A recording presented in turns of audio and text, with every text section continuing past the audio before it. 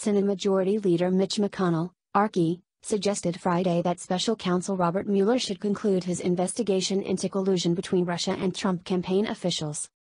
What I think about the Mueller investigation is, they ought to wrap it up.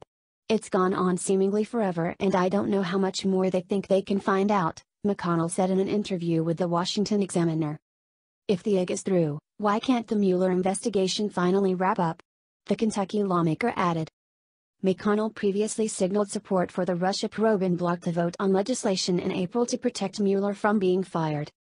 The 76 year old lawmaker told the Fox News channel it was not necessary to vote on the bipartisan effort. There's no indication that Mueller's going to be fired, McConnell said to Neil Cavuto. I don't think the president's going to do that, and just as a practical matter, even if we passed the bill, why would he sign it? President Trump on Thursday accused Democrats of fabricating a phony crime, prompting the Justice Department to appoint a special counsel to investigate collusion with Russia. So, the Democrats make up a phony crime, collusion with the Russians, pay a fortune to make the crime sound real, illegally leak, Comey, classified information so that a special counsel will be appointed, and then collude to make this pile of garbage take on life in fake news. The president tweeted.